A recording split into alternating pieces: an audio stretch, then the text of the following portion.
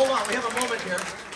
Before we do the vows, oh, we have, whose dog is this? This, this is a service dog in training to be uh, for a child with autism, and her name is Betty White. Oh,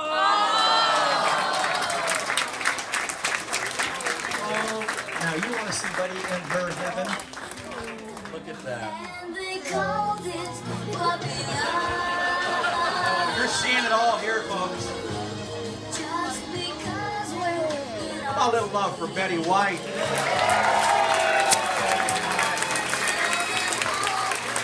Shall, uh, hey, Dennis, are we ready? Yeah. Uh, shall we say goodnight to this wonderful cast that worked so hard? See?